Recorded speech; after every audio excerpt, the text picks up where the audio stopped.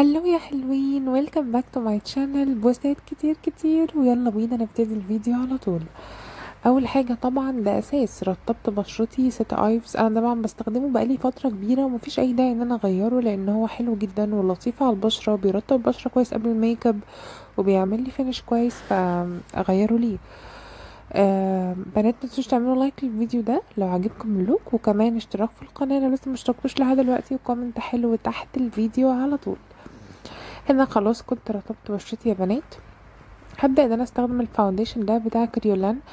كذا حد منكم كان سألني إيه ال foundation وال powder اللي يكونوا ثابتين مع الحر ويدوني أفضل finish ممكن أنا بصراحة بقول كريولان دايما وبنصح بكريولان. كريولان brand محترم جدا بس لو انت هتجيبي استخدام شخصي هاتي تقسيم. عشان كده أنا العلبة اللي وريتها لكم دي علبة يعني شفافة لأنها علبة تقسيم. هاتي ربع بس أو نص بس هيكفيكي وزيادة. هنا جبت ال beauty blender وبدأت إن أنا أدمج ال foundation أنتوا شايفين طبعا ال cover عامل إزاي؟ مش محتاجة أتكلم وده دمج بال beauty blender. يعني بصوا أنا أصلا بحبه مجرد ما بيدمج بحس إنه لأ ده كريولان برضو لأ لأ يعني بجد ليه ليه برونق مختلف تماما عن أي foundation أنا بحطه.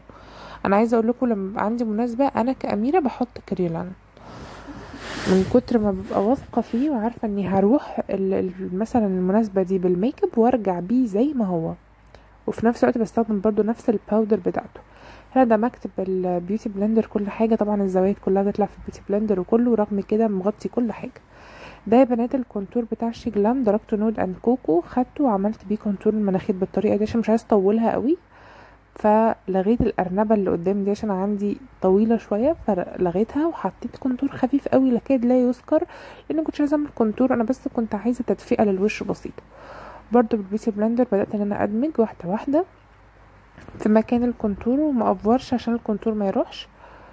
وكمان على منابت الشعر والمناخير كمان دلوقتي. خليكوا حذرين جدا أنتوا بتدمجوا المناخير عشان ما تسحش على بعضها وال contour يبوظ. بس كده كده كنت دمجت. ده ال concealer بتاع شي جلام يا بنات. درجته اسمها فاني 2 الدرجة دي فاتحة قوي. بما اني حاطة cover عالي تحتها اللي هو كيريولان فأقدر أحط الدرجة دي عادي. لو هحطها من غير ال cover العالي تحتها لازم تحط لها corrector أو أي حاجة orange قبلها أو غامقة قبلها ت cancel الهالات كويس عشان ما تدينيش effect مش كويس. دي يا بنات powder ال loose powder بتاعت كريولان درجتها CL 11 وال foundation يا بنات كان درجته GG تمام؟ foundation درجة GG درجة ممتازة ممتازة ممتازة. وتلاقي على أغلب الناس تقريبا اللي بشرتهم زي أو أفتح مني درجة أو أغمق مني درجة. يعني أغلب البشرات عامة. بدأت أثبت بال loose powder بالطريقة دي. عايزة أقول لكم إن السفنجه اللي ماسكه في إيدي دي أحسن طريقة لحط ال loose powder لا تقولي لي فرشة ولا تقولي beauty blender ولا أي حاجة. دي أحسن طريقة إن أنت تحطي بيها ال loose powder ودايما لما تيجي تثبتي حوالين الفم آه يعني افردي الجلد بلسانك كده علشان خاطر ال powder تخش في الخطوط فما تخططش معاكي بسرعة. ده يا بنات ال bronzer بتاع كاتريس اسمه sun glow. بدأت إن أنا اعيد بيه كده على ال contour. بصوا بيديني دفء كده للوش. مش contour هو مش contour ولكن مدي كده دفء جميل جدا. للوش. استنوا في فيديو نازل بكرة خطير جدا عن أحلى منتجات شجلام اللي أنا جربتها بأسعارها بال... بال links بتاعتها بكل حاجة. زي ما palette مورفي خدت منها أنتوا شايفينه ده ما كنتش حابة أحط بلاشر المرة دي كنت حابة يفضل كله كده بنيات وكده. فخدت الدرجة دي دي shimmer جدا على فكرة. حتى لو تلاحظوا تحسوا ان هي كأنها كمان مدية highlight كأني حاطة highlighter بس هي عشان فيها shimmer شوية. خدته وبدأت إن أنا أدمجه كويس بالفرشة. بصوا دمجت كويس كويس كويس.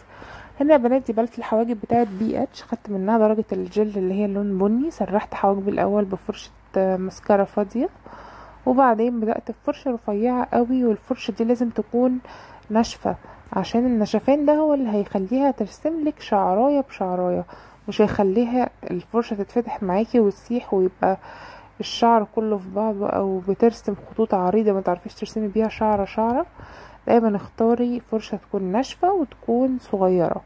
بصوا رسمته بشكل طبيعي خالص فراغاته موجودة وكل حاجة شكل طبيعي يعني الحاجة الطبيعي مش بحاول إن أنا أملاه قوي نفس الكلام على الحاجب التاني وزي ما قلت لكم ال palette بتاع H BH دي يعني هي غنياني. عايزة أقول لكم إن ال ال الجل اللي فيها بتاع الحواجب مش أحسن جل بس أنا بستخدمه لأن طبعا الميك اب ده كله بمسحه بعد التصوير على طول.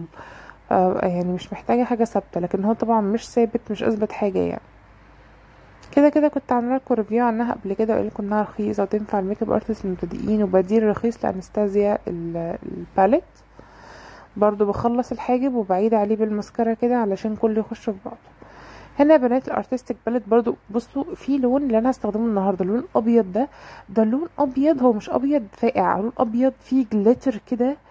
بصوا اللون ده من أول ما ال palette جت وعملت له swatch وعمالة أقول أنا هستخدمه إزاي مش عارفة أستخدمه إزاي ولكن هموت وهستخدمه. ففكرت النهارده بقى إن أنا أعمل ال look ده. بصوا دايما لما بسيب نفسي على هوايا كده وبعمل look عارفين أنتوا اللي هو بفتح الكاميرا وببدأ أصور وببقى مش عارفة أنا هعمل إيه. بيطلع معايا أحلى look ات ممكنة. لكن دايما لما بكون ناوي على حاجة ما بتطلعش يعني أحلى حاجة. بتطلع حلوة آه بس مش أحلى حاجة. هنا خدت اللون بقى البيج الفاتح ده حددت بيه بس الزوايا كده. وممكن تكتفوا باللون الأبيض بس. ده يا بنات ال setting spray بتاع SHEGLAM وبرده الفيديو اللي جاي هتكلم لكم عنه بالتفصيل.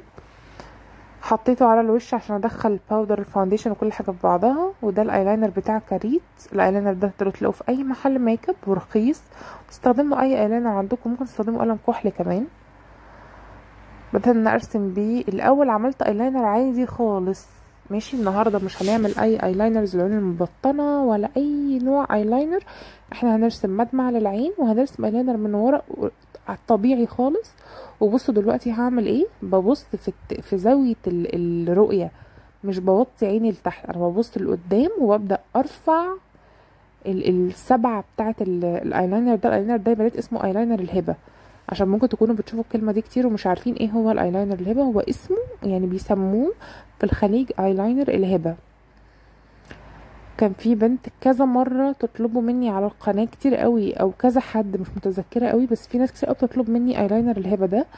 فقررت إن أنا بقى اعمله معاكم الفيديو ده. عايز أقول لكم الإيلاينر ده من أكتر الأشكال اللي أنا بعشقها. هو شكل الايلاينر ده لأنه بيوسع العين قوي. عايزه أقول لكم ساعات أنا كنت بحطه من غير أصلا اي shadow أو حاجة يعني كنت بحطه كميك اب يومي عادي بس بحطش اي shadow ما بحطش foundation كتير كده. كان بيطلع خطير خطير. بصوا هعمل العين التانية كمان. هو ايلاينر عادي خالص رفيع. ببص بقى في اتجاه المراية كده في اتجاه النظر بالظبط واقوم واخدة الآخر خط بتنزل من عنده جفن العين. الثابت وبقوم ملياه شوية من جوه وعاملة ال curve مظبوط. وخلي بالكم مش بيطلع مظبوط من أول مرة. زي ما أنتم شايفين كده بفضل أظبط من هنا زاوية وأفضل أظبط من هنا زاوية لحد ما الاتنين يبقوا زي بعض بالظبط. لأن في الغالب على فكرة أغلبنا العينيهم عين اليمين غير العين الشمال. أو أنا عندي كده يعني أنا العين اليمين رسمتها والمساحة بتاعت الجفون غير عين الشمال. فدايما بتحاولوا تظبطيهم مع بعض وأحط الرموش دي من SHEGLAM وأرجع لكم تاني وده شكلها. أي رموش خفيفة. هاخد اللون الأخضر ده من ال palette أنا كنت حابة أصلا ال look ده كله ادخل فيه لون okay؟ عايزة عايزة ت finish ي ال look على كده. طبعا قمر ويجنن وسكر وينفع مصايف وينفع كل حاجة. خدت دلوقتي يا بنات آه لزق الرموش ده بتاع SHEGLAM لزق شفاف. وبعد كده هجيب ال glitter الأخضر. اللي أنا هوريه لكم دلوقتي. ده glitter على فكرة يا بنات ده من من مكتبة. ماشي؟ أنا كنت جبته قبل كده وعملت معاكم بيه look أنا يعني بصراحة طرقعت في دماغي إن أنا كان نفسي قوي أعمل حاجة ملونة تحت العين كده فجه في بالي إن أنا أحط ال touch ده. طبعا تقدروا تحطوا أي نوع glitter وتستغنوا عن ال glitter وتستغنوا عن الأخضر خالص. عايز تقدروا تسيبوه matte زي ما هو كده.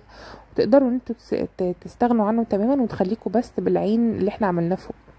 وطبعا بديل بديل الرموش دي لو انت في مصيف أو كده أو خارجة بيه بال look ده طبعا تقدري تعملي ماسكارا بس ثلاث طبقات مثلا أو حاجة. هنا يا بنات ده ال ده ال ده الكحل بتاع MN خدته بدأت بس إن أنا أقفل زاوية العين وبسودها شوية عشان أحددها مظبوط عشان هبدأ دلوقتي أملاها بالكحل البيج. ده الكحل البيج بتاع Rimmel زي ما أنتم شايفين كده. مليت بيه العين من جوه. وهاخد الماسكارا دي بتاعت لوريال. أي نوع ماسكارا عندك وأبدأ إن أنا أعمل بيه الرموش السفلية. كويس جدا. عشان دي اللي بتحدد لي العين في النهاية. متنسوش يا بنات حبايبي تعملوا like وتعملوا كمان اشتراك في الفيديو لو لسه مشتركتوش ده بنات ال highlighter بتاع أوفرا. هو عجلة كده بس أنا خدت منها اللون النحاسي وبدأت إن أنا أحطه ك highlight عشان يليق مع ميكب الوش كلها. غير كل مرة أنا بحب أستخدم لون الشامبين أو الأبيض المرة دي استخدمت لون نحاسي عشان يليق مع ال look وفعلا طلع خرافي. عايز أقول لكم ال look ده عجبني قوي دايما لما بسيب نفسي وبلعب كده بهوايا بيفكرني بزمان من أيام ما بدأت أعمل ميك اب ده بنات محدد شفايف لونه بني أنا كنت ناوية أحط روج بس بعد ما حطيته حسيت إن هو حلو قوي لوحده وما حبيتش إن أنا أعمل أي حاجة زيادة بصراحة. هتشوفوا دلوقتي بعد ما حطيته لونه حلو قوي عاملة بيه بس الدواخل دي بتاعت الشفايف. بصوا هتحسوا إن أصلا لونه هو خلاص perfect كده على اللوك ده ممتاز. طبعا ده تسيبوه matte زي ما هو بس أنا ضفت عليه لمعة من زبدة الكاكاو دي وده كان اللوك زبدة الكاكاو دي بتاعت شاو. وده كان يا بنات اللوك النهائي. يا رب يكون عجبكم. متنسوش تكتبوا لي رأيكم تحت في ال comment ات. عجبكم الحاجات اللي زي كده اللي فيها ألوان ولا حابين نفضل أكتر في حاجات ال nudes والبينكات والكشميرات والحاجات دي؟ متنسوش تعملوا لايك للفيديو واشتراك تحت في القناة دوسوا على الزر الأحمر واكتبوا لي comment حلو تحت الفيديو. أشوفكم على خير بكرة. مع السلامة.